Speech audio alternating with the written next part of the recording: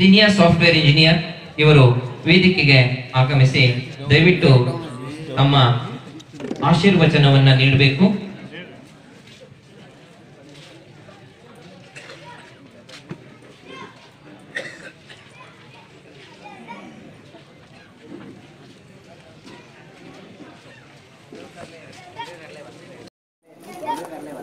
अस्सलामु अलैकुम वरहमतुल्लाहि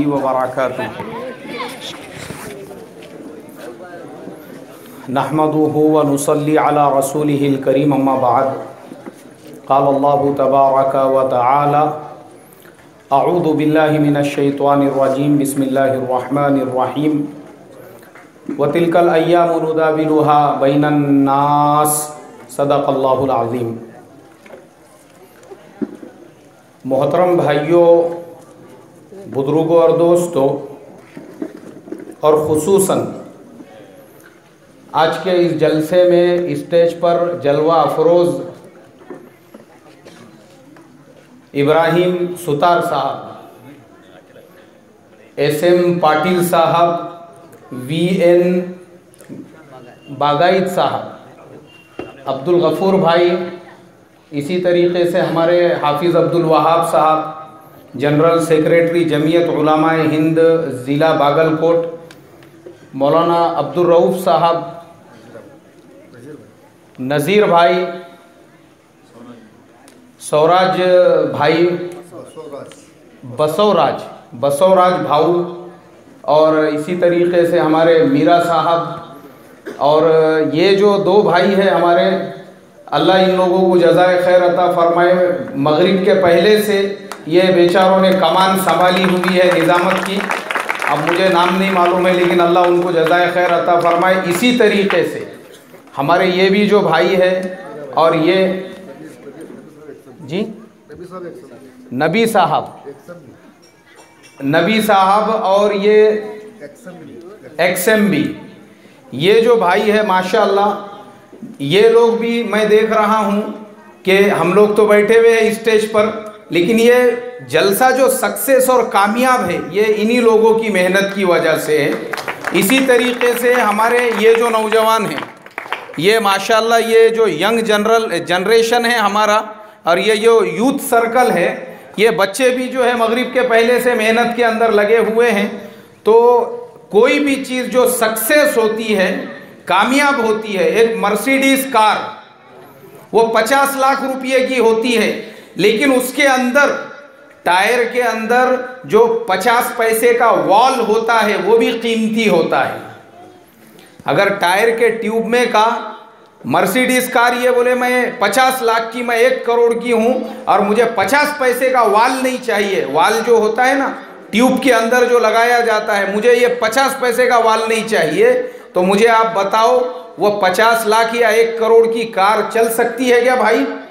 नहीं चल सकती है। तो हमारे पास हमारे लिए हर साथी कीमती है। ख़ास तौर पर हज़रत सुल्तान शहीद टीपू रहमतुल्लाह अलैह की ज़िंदगी पर जिस तरीके से लोगों ने रोशनी डाली, अब मैं, मेरे पास में रोशनी डालने के लिए कुछ बचा नहीं। लेकिन अक्सर लोगों ने जो रोशनी डाली, ख़ास तौर पे, मुझे कन्नड़ नहीं समझता है, लेकिन एक्शन और आप लोगों का जो उत्साह था, उसे देखकर मैं कम से कम इतना तो समझ सका कि माशाअल्लाह ऐसी बातें हमारे सामने आ रही है जो हमारे काम और हमारे नफ़े की है। जैसे एस एम पाटिल साहब ने कहा और वी एन बागाइत साहब ने जो कहा और उनके बाद मौलाना अब्दुल रऊफ साहब ने जो कहा कि उस पर किताब लिखी जानी चाहिए। वाकई में भी ये वो बातें हैं और इन लोगों के दिल की गहराइयों से हज़रत सुल्तान टीपू शहीद रहमतुल्लाह अलैह को जो अकीदत दी गई है, वो काबिल तारीफ़ है। हमारे इब्राहिम सुतार साहब, मैं आपकी शख्सियत से बहुत ज़्यादा इंस्पायर्ड हुआ हूँ। इंस्पायर्ड मीन्स व्हाट आप लोगों ने देखा होगा बड़े बड़े क्रिकेटर बड़े बड़े फुटबॉलर बड़े बड़े जो मीडिया में आते हैं, उनसे पूछा जाता है, भाई, आपकी लाइफ में जो चेंजेस आया है, आप किसकी वजह से आपकी लाइफ में चेंज आया? वो कहते हैं, विराट कोहली से पूछा जाए, वो कहेगा कि मैं सचिन तेंदुलकर से इंस्पायर्ड हुआ हूँ। और सचिन से पूछा जाए, वो कहेंगे, मैं सुनील गावस्कर से इंस्पायर्ड हुआ हूँ। तो ये दुनिया में हर जूनियर वो अपने सीनियर से क्या होता है भाई? इंस्पायर्ड होता है। इब्राहिम सुतार साहब की जो शख्सियत है, अभी यहाँ पे ज़्यादा टाइम नहीं है, क्योंकि मुझे मुस्तकिल उनके ऊपर एक सबक देना है इसलाह मुआशरा का, जो मैं रोज़ एक सबक देता हूँ। एक टॉपिक उनके ऊपर रहेगा।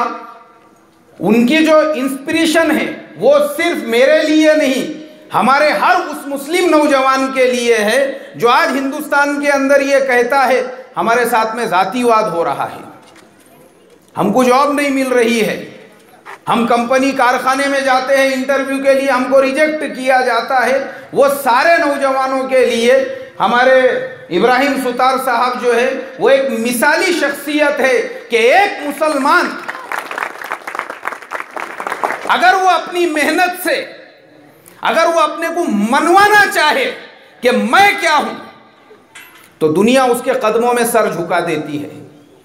हिंदुस्तान के प्रधानमंत्री माननीय नरेंद्र मोदी जी, उनको भी जो है हमारे इब्राहिम सुतार साहब को अवार्ड देना पड़ा पद्मश्री का।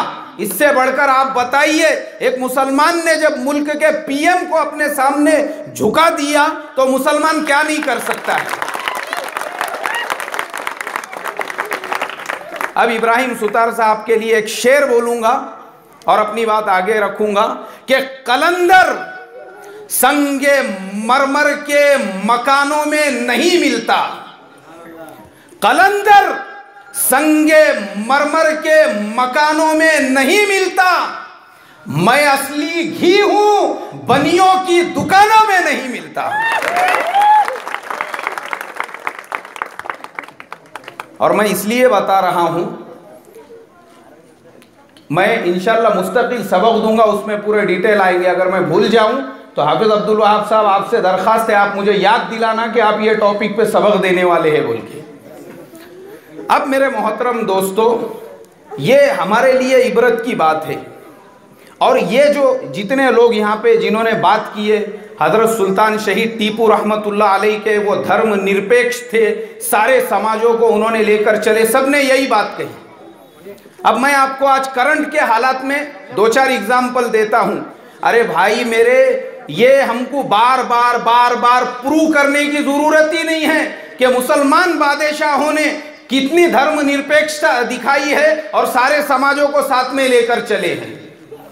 आप आज की डेट में देखिए दुबई के जो बादशाह है, शेख जाहिद उन्होंने हमारे मुल्क के प्रधानमंत्री को बुलाकर वहाँ पर एक मंदिर की बुनियाद डलवाने के लिए लगाई। आप लोगों ने ये न्यूज़ पढ़े क्या नहीं पढ़े? अरे भाई, पढ़े क्या नहीं पढ़े? हाँ नहीं पढ़े होंगे, गूगल के अंदर जाओ। आज के ज़माने में कुछ भी इम्पॉसिबल नहीं है। आज के ज़माने का मुफ्ती और आज के ज़माने का इंसाइक्लोपीडिया आज के ज़माने में चलता फिरता पूरा कुतुब खाना आपके जेब में है।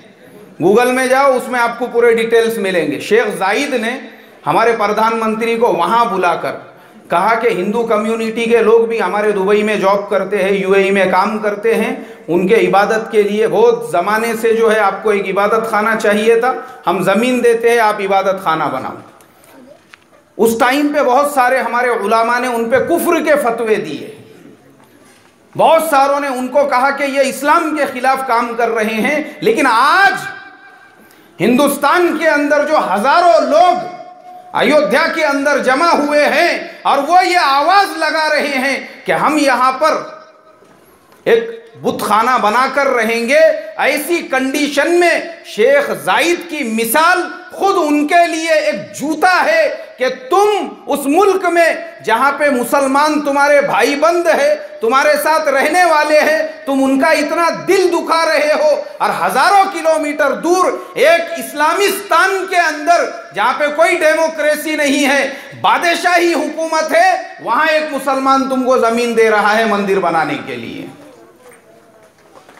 ये इबरत है ये। और खाली दुबई की मिसाल नहीं है। अब मैं आप लोगों से पूछता हूँ मलेशिया किसका मुल्क है? अरे भाई, मलेशिया का नाम सुने होंगे ना आप लोगों ने? मलेशिया किसका मुल्क है? किसकी हुकूमत है वहाँ पर? बोलो ना। मुसलमानों की। महातीर मोहम्मद, वहाँ के वज़ीर आज़म हैं। उनसे पहले तुमको अब्दुल रज्जाक थे, उनसे पहले तुमको अब्दुल रहमान थे। मुसलमानों का मुल्क है। पूरी हुकूमत वहाँ पे मुसलमानों की है। लेकिन आपको सुन के हैरत होंगी वो मुसलमानों के मुल्क में, हमारे हिंदुस्तान में जिन देवी देवताओं की पूजा की जाती है, उनकी सबसे बड़ी मूर्तियाँ उस मलेशिया के अंदर हैं। भगवान मुरुगन का नाम सुने आप लोगों ने? भगवान मुरुगन साउथ इंडिया के एक बहुत बड़े देवता है। उनकी 150 फीट की मूर्त वो मलेशिया के अंदर, एक जजीरे के अंदर, वो हज़ारों साल पुरानी है। उसके अलावा हमारे मुल्क में भगवान राम को सबसे बड़ा देवता माना जाता है।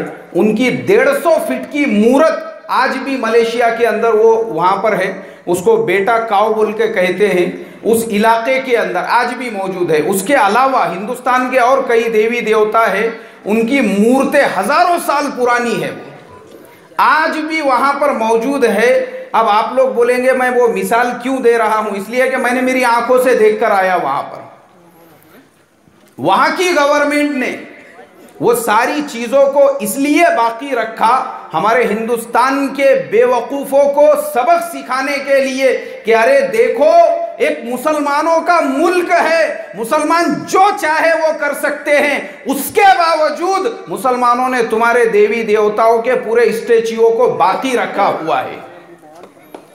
उनकी हिफाजत की है और दुनिया भर के लोग उनको देखने के लिए जाते हैं। तो मुसलमानों ने उनको बताया आज की तारीख के अंदर कि मुसलमान कभी भी किसी के मज़हब पे जुल्म करने वाले नहीं है, कभी भी किसी को तकलीफ़ पहुँचाने वाले नहीं है, कभी भी किसी के इमोशंस को ठेस पहुँचाने वाले नहीं है। अगर मुसलमान ऐसे होते थे तो वो मलेशिया, जहाँ मुसलमानों की हुकूमत है, मुसलमान एक भी मूर्त बाकी रखते थे क्या भाई?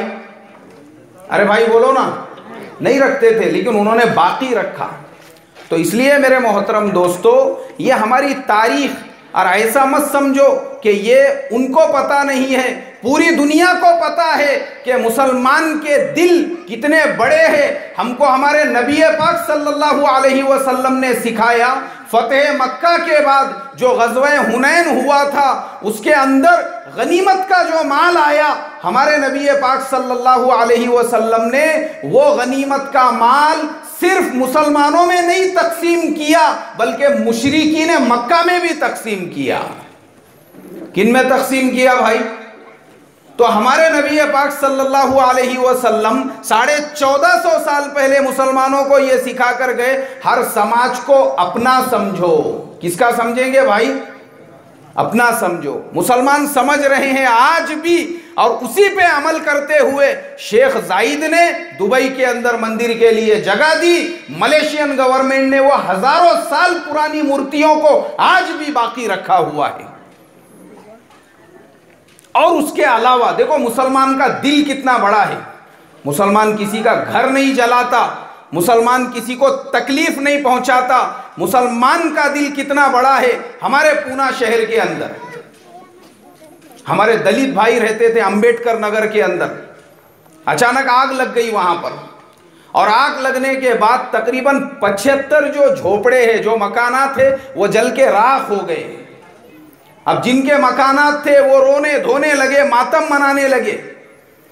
वो महल्ले में मुसलमानों के भी मकानात थे, सारे मुसलमान एक जगह पे जमा हुए।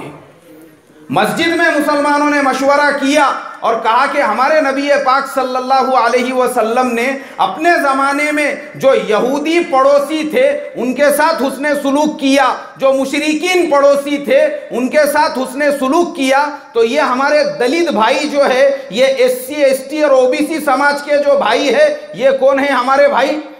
पड़ोसी है। इनके घर जल गए हैं, अब इनके घरों को दोबारा बनाकर देना, ये किसकी ज़िम्मेदारी है? अरे भाई बोलो ना, मुसलमानों की ज़िम्मेदारी है। मुसलमानों ने क्या किया? वो गरीब मुसलमान, अब आप सोचो, झोपड़पट्टी के इलाके में जो रहने वाले मुसलमान हैं, वो बेचारे भी उनके जैसे वो क्या कर सकते थे? लेकिन उन्होंने कहा कि नहीं, जो देने वाले मुसलमान हैं, हम उनके दरवाजों पर जाएँगे। उन्होंने टीमें बनाई दस दस दस दस नौजवानों की टीमें बनाकर पूरे शहर के मस्जिदों में उनको फैलाया कि हर जुमा को जाओ, मस्जिदों के गेट पे रुमाल लेके खड़े रहो और चंदा जमा करो वहाँ पर। अब मुस्लिम नौजवान हर हर मस्जिद के सामने जाकर चंदा जमा करने लगे। आपको सुनकर हैरत होंगी, जुमा के बाद जो जमा होने वाला चंदा है, सिर्फ़ उसी चंदे से मुसलमानों ने हमारे दलित भाइयों के पचहत्तर मकानात बनाकर दे दिए। अच्छा ये न्यूज़ अगर आपको देखना है तो YouTube के ऊपर एबीपी माझा मराठी चैनल जो है एबीपी माझा उसके अंदर ये न्यूज़ है। एबीपी माझा ने स्पेशल रिपोर्ट बनाया इसके ऊपर पंद्रह मिनट की। और वो जो दलित भाई थे, उनके घरों में जाके इंटरव्यू लिए, वो रोने लगे दहाड़े मार मार के। उन्होंने कहा, हमारे सरों पे छत नहीं था, लेकिन ये जो हमारे मुसलमान जो पड़ोसी है, आमचे जे शेजारी आहेत ते आमच्यासाठी फक्त मुसलमान नाहीत, ते आमच्यासाठी आमचे भगवान आहेत. उन्होंने कहा सिर्फ़ ये मुसलमान, हमारे पड़ोसी नहीं है, हमारे लिए देवता भी यही है और भगवान भी यही है। बोले, जो वक्त पे हमारे काम आए।